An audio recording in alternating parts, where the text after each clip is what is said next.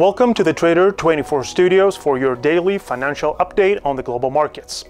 Another nervous day is over with investors seeming to have anticipated the impossibility of a market recovery in the short term on the one hand and to be weighing higher risks for investment uh, positions and therefore demanding higher premiums and returns on the other. At the front line continues to be the shifting monetary policy of the major central banks towards a higher benchmark interest rate regime as inflation has become an excessive disturbance to economic systems.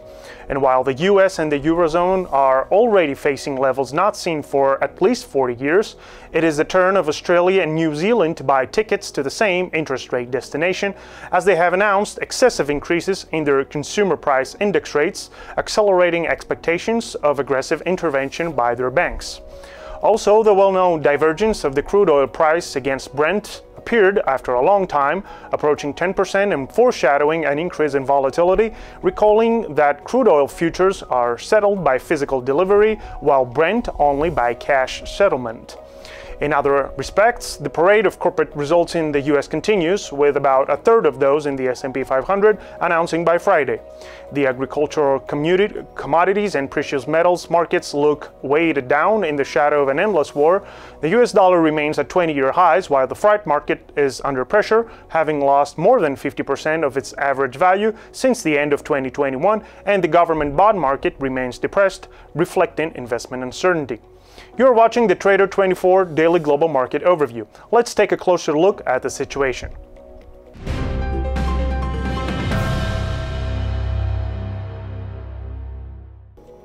On Wall Street, the mood was not the best, with the major indices moving into negative territory throughout the regular session, but without heavy volumes being traded that would have, would have caused undue concern.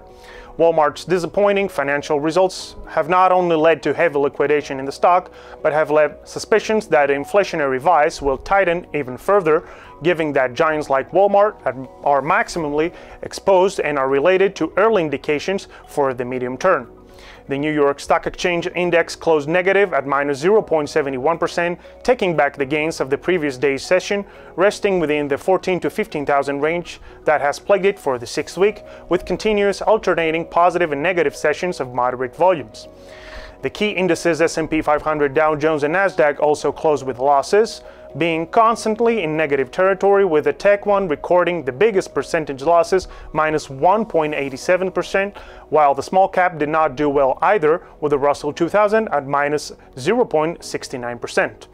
Most S&P sectors closed with losses except for real estate, healthcare, and utilities, with consumer discretionary at minus 3.31% and telecoms at minus 2.05%, recording the largest negative signs. Shares of Carnival at minus 7.41% and Ralph Lauren at minus 6.15% from consumer discretionary and Paramount uh, with a minus 4.47% from telecoms were the negative leaders. The VIX risk index gained another 5.69 percentage points, setting the stage for a bigger move. The main negative protagonists in the large cap were Fortinet with minus 7.77% and Walmart with a minus 7.60%, with the latter also disappointing in terms of financials, while in technology, the worst performers were Peloton with a minus 8.80% and Okta with a minus 8.04%. We had uh, finally, in the industrial Dow Jones, mixed signals with a 14 out of 30 closing in negative territory with all eyes falling on Microsoft, which outperformed with a 4.05% gain thanks to a good second quarter financial results. In the pre-market now, most listed companies are moving into positive territory with the Chicago futures giving a tepid bullish opening. Asian markets closed with mixed signals. The Hang Seng collapsed by minus 0.53%, moving away from one-week highs in the shadow of poor sentiment on Wall Street week, with the domestic market under pressure after the IMF revised China's economic growth rate to 3.3% instead of 4.4%. Shanghai and Shenzhen were unchanged. Japan's Nikkei saw controlled gains of 0.20%, and the Australian 200 saw month highs with marginal gains of 0.33%.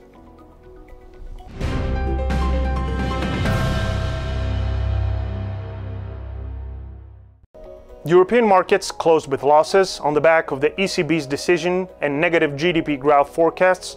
The DAX 40 and the 50 Euro Stoxx saw minus 0.80%, while the 600 was unchanged. The critical Italian political issue opened by Mario Draghi's resignation remains open while the ECB has already joined the war of hikes, with the first interest rate increase in 11 years. Daimler stock is currently seeing the biggest gains at plus 4%, while multinationals from the consumer goods sector, such as Adidas with minus 3% and Louis Vuitton with minus 2%, are moving in the red. In Athens Stock Exchange, Greece is moving positive in general and 25 large cap indices, with the banking sector at 1.05%, while turnover remains extremely low for another session.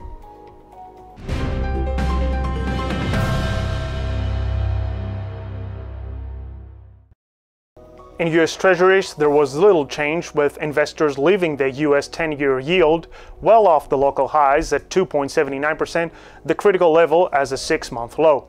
The 30 year is in the 3% zone. The spread has opened dangerously at 24 basis points in favor of the two year, and obviously the volatility in the coming days will be high. In Europe, the yield on the German Bund was depressed to 0.97%. The spread of the Greek is at 205 basis points. The Treasury spread is one at 187 basis points, and the gilts at 98 basis points.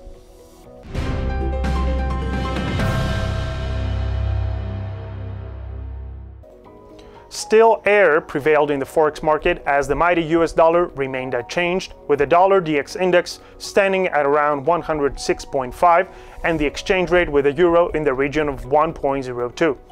The problem problematic nature of the expected further Fed benchmark rate hike this week remains, with investors anticipating the 75 basis points at the same time as Australia and New Zealand are seeing aggressive shifts to their respective dollars due to a sharp rise in inflation rates there. The New Zealand dollar is at a one month high of 0.6230 and the Australian dollar approached 0.6950 per US dollar.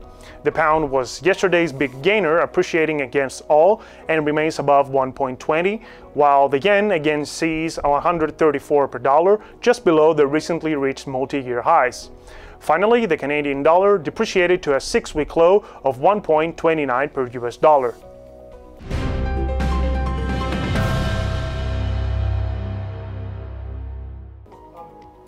In commodities, there is an increase in the gap between Brent and crude, with Brent now around $10 per barrel, which occurs when volatility is about to increase excessively.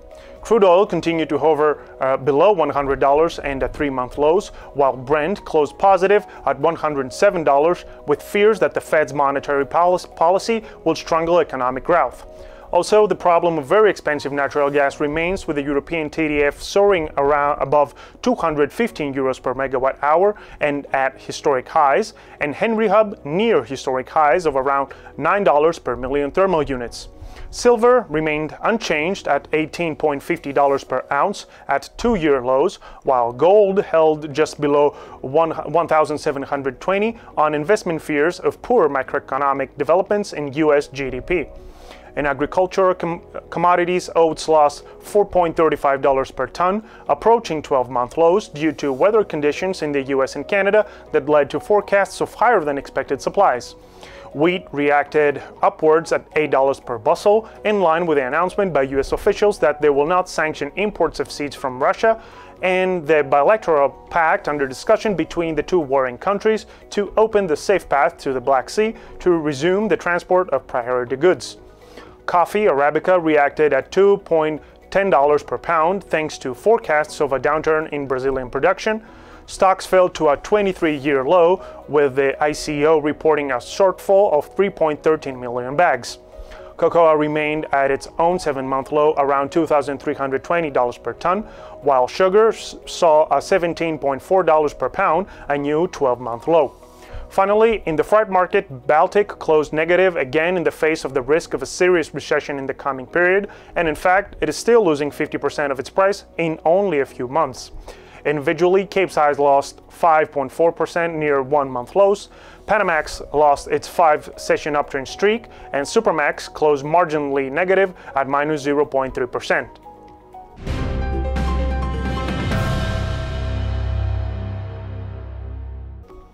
In terms of economic announcements, today all eyes are focused on the announcement of the Fed's new interest rate policy, while earlier in the day the weekly announcement on the change in crude oil inventories is expected, with forecasts talking about another decrease of 1.12 million barrels. Yesterday in the US, the results of the Consumer Confidence Index were released, which fell for the fourth consecutive time, as additional interest rate hikes are likely to continue to be a strong counterweight to consumer spending. In terms of corporate announcements, today we expect the financial results of Meta Platforms with projected earnings per share of $2.56 and revenue of 28.94 billion, Qualcomm with projected earnings per share of $2.89 and revenue of 10.87 billion, and T-Mobile with projected earnings per share of $0.2597 and revenue of 20.11 billion. Also set for today is Marsh & McLennan's div dividend ex-date with a yield of 1.50%, up 16.67% on a quarterly basis. Yesterday, financial results were announced by Microsoft with earnings per share of $2.23 and revenue of 51.87 billion, both below forecasts. Alphabet with earnings per share of $1.21 and revenue of 69.69 billion, both below forecasts, and Visa with earnings per share of $1.98 and revenue of 7.28 billion, both above forecasts.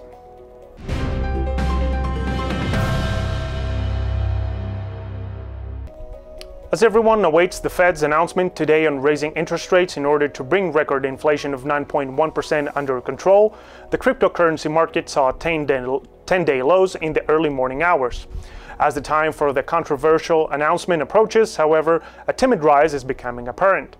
Specifically, Bitcoin seems to have returned for good to the 18,000 to 22,000 area where it had been stuck since the beginning of June and managed to briefly break through just last week. Since yesterday, it has been moving close to the 21,000 area, the second largest cryptocurrency by market capitalization after Bitcoin, Ethereum has also fallen below $1,500 after the noise around the merge faded and equity markets in Asia and Europe suffered losses. Futures tracking Ethereum posted losses of $88 million, for the largest among uh, crypto futures, as trader took profits after moving from 1100 to 1600 in the recent weeks. The stable Tether currency, which in theory should always have a value equal to $1, found stability for the first time in two months as it regained its peg to the dollar on July 20th and has remained stable since then. Finally, altcoins are on, this, are on the rise with Monero's X, XMR at $152.34 with a plus 7.4%, Quant's QNT at $95.13 with a plus 16.25%, Optimism's OP at $0.84 with a plus 9.55%, and Polygon's Matic at $0.81 with a plus 8.71%. Thank you for joining us today. It was the Trader 24 Daily Global Market Overview. Stay tuned for our next comment on the financial markets.